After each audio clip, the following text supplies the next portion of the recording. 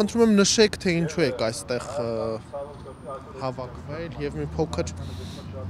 խոսեք այն մասին, թե այսօր ինչպիսի իրականության մեջ ենք մենք ապրում եւ ինչ կցանկանայիք տեսնել այսօր մեր իրականության դրությամբ մենք ապրենք շատ վատ պայմաններում, դրությամբ մեր երկիրը շատ ծանր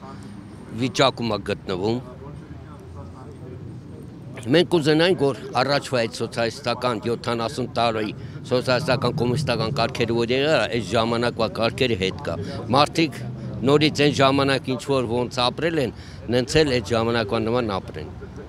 մենք շատ դժգոհ ենք, այս ղեկավարություն կառավարություն շատ դժգոհ ենք, որովհետև երկերը տանում է դեպի կործանում։